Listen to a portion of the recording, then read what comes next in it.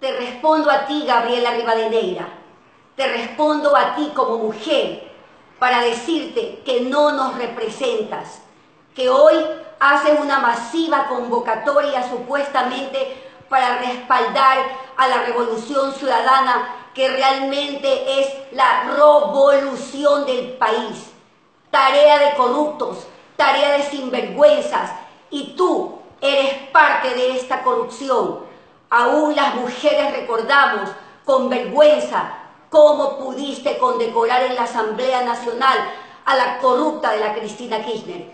Hoy te decimos que vamos los ecuatorianos a exigir que devuelvan lo robado, que devuelvan lo que tú y todos los revolucionarios se han llevado del país.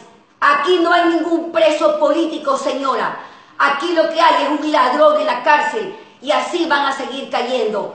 No vamos a permitir y seguiremos en las calles aún a riesgo de nuestras vidas como ya lo hemos hecho anteriormente. Ecuador, llénate de orgullo y levántate, ponte de pie en contra de estos corruptos. Vamos, viva el Ecuador, por siempre, vamos Ecuador.